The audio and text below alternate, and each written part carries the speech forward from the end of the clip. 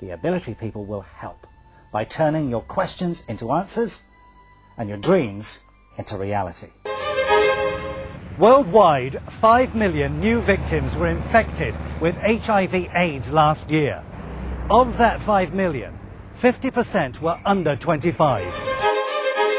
Welcome back to our Oktoberfest day here in Munich, capital of Bavaria. Munich is Germany's third largest city after Berlin and Hamburg. And around about a million and a half people add to the hustle and bustle of everyday life.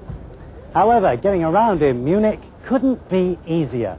High-speed train links, ultra-modern bus service, and of course the more traditional, the tram. Mm. Which means I don't get paid. Does it, sir? Come on then. Oh, we'll take a closer look. Oh, terrible.